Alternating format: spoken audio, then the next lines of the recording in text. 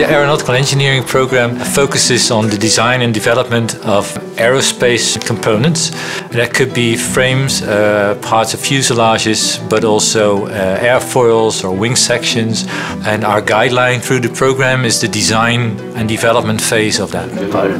Uh, during the program, uh, there are different type of courses. We, we start with mechanics, aerodynamics, some basic courses that you will need to progress and to get the basic knowledge about planes. Um, in your third year, you get to choose between two specializations. There's lightweight structures and there's design and development.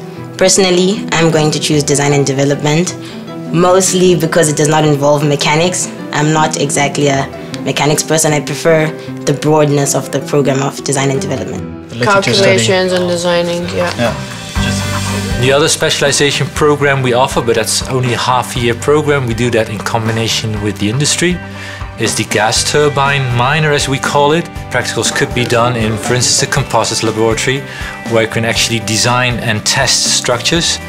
Uh, one other example is that students learn how the behavior of a gas turbine engine is and to be able to calculate that they need some experience with that as well and for that we have a gas turbine simulator in which they can actually practice how the components work but also to see how the actual behavior of that gas turbine is. You get a chance to get your hands dirty, if I can say that, which is really nice and it gives you a lot of experience for the future. So now change from start ignition to norm, normal operations. The, the companies that people will end up with after their graduation are sometimes the larger companies like Airbus, Boeing, uh, also the, the larger research and development companies like the, the Dutch companies TNO, but also international companies.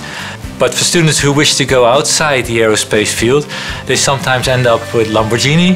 Uh, not a lot of places available, of course, there, but also in different companies which mainly do smaller products. This is our team of uh, five enthusiastic engineers.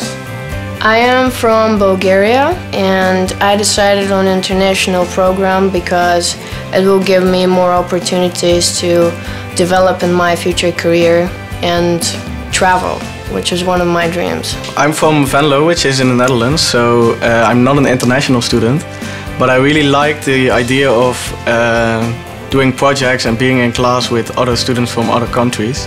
What I like most about the field of aeronautical engineering is everything. Just seeing how an airplane moves, how big it is, and how it can get into the air and fly, and every day, everything just interests me.